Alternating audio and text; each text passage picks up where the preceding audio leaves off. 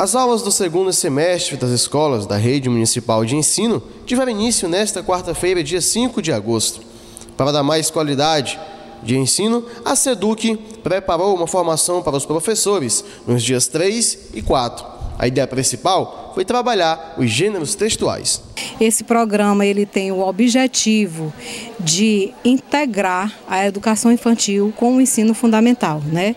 É uma proposta é, em que a metodologia da educação infantil será é, o trabalho com projetos didáticos né? e o ensino fundamental com sequências lúdica didática. Para a professora, é indispensável desenvolver métodos com os alunos que trabalham o mundo lúdico. A ludicidade na educação infantil e nas séries iniciais é extremamente importante, né? Porque a brincadeira, ela é a atividade principal da criança, né? Através da brincadeira, a criança, ela aprende tudo que você imaginar, né? Tanto os conteúdos como a socialização da criança, não é?